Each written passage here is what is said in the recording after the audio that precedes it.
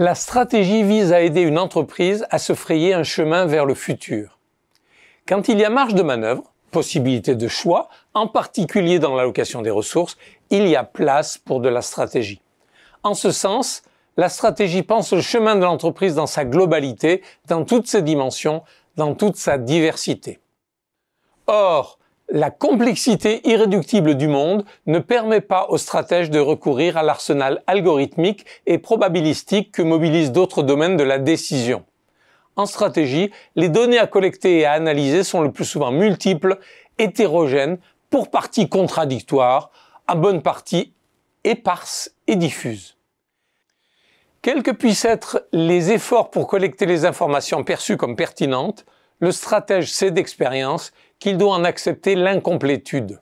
En outre, il est nombre de situations où l'on ne sait même pas nommer, ni même imaginer quelles informations collecter. On parle alors d'indétermination.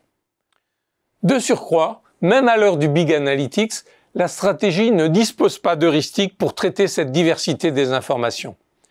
Le lot commun du stratège se résume ainsi en un triptyque fait d'indétermination, on ne sait pas imaginer ce qui sera, d'incomplétude, on ne sait pas trouver toute l'information souhaitée, et d'heuristique déficiente, on ne sait pas comment traiter la diversité des informations collectées.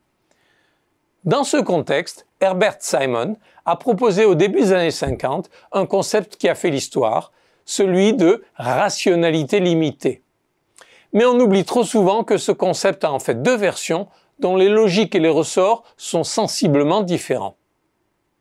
Dans une première acception, la rationalité limitée de Herbert Simon retient que la complexité des situations ne permet pas de les appréhender dans toutes leurs dimensions. Ni les esprits les plus puissants, ni l'intelligence collective, ni l'intelligence artificielle de la machine ne sauraient y parvenir. Ce n'est pas qu'une question de traitement de l'information, c'est aussi celle de l'accès à l'information. Au fond, face à des situations incertaines et floues, voire indéterminées, la rationalité limitée d'Herbert Simon reconnaît que le décideur ne peut que s'avouer vaincu d'avance et doit accepter que ses décisions ne puissent être qu'imparfaites. Dit autrement, cette première acception de la rationalité limitée conduit, à regret, à dégrader l'optimum, mais en continuant à le rechercher activement, sans pour autant se faire d'illusions. Or, des économistes lyonnais autour de Michael Assous ont retracé comment la pensée d'Herbert Simon a évolué à l'été 1951. Il dépasse sa première idée d'une rationalité limitée qui continuait à viser un optimum désirable, mais en le sachant inatteignable et en acceptant une solution dégradée, sous-optimale. Après une première abdication, celle de se contenter d'une sous-optimalité, Herbert Simon y ajoute une seconde abdication, celle de renoncer à penser une solution, une stratégie, en référence à l'optimum. Il accepte de se limiter à penser la meilleure solution raisonnable à laquelle on peut accéder.